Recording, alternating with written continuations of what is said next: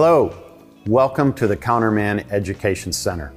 Today we are going to talk about a part of our vehicle that is critical to its ability to perform and last. You guessed it, the oils we use in the engine. This subject used to be so simple. What weight do you want in your car? We would ask.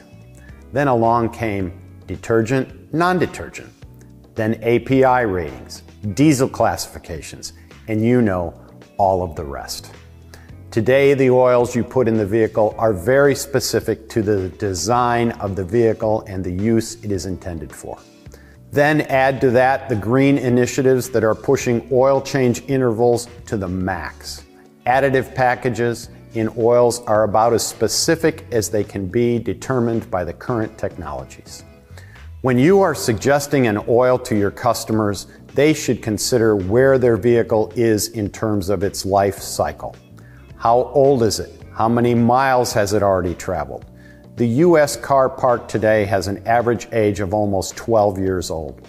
The astounding part of that is that 67% of those are considered high mileage. With the current chip shortage, new car sales will be significantly lower and this will only drive the age and miles on the average vehicles even higher. These trends make the need for different oils even more significant. Older high mileage vehicles have different needs for their oils. Vehicles with over 75,000 miles can develop conditions that require special lubricants. Older engines can have ring wear, deposits, and leaks. These conditions can all be improved by an engine oil with special formulations. High mileage engine oils include additive packages that assist in removing deposits from valves and rings. These deposits can cause engines to burn more oil and reduce overall operating efficiencies. Removing sludge from the engine can also lower operating temperatures, which can stress your vehicle's other systems.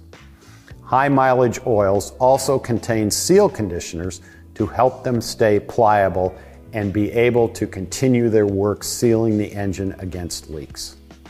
When you are selling motor oils to your DIY customers or your professional repair shop customers, it really is a good idea to ask them about the vehicle they are working on.